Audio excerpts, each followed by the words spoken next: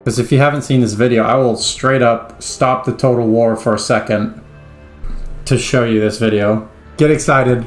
Someone watching on the VOD is going to be like, no, don't do that. But like, fuck them. Show up to the stream next time.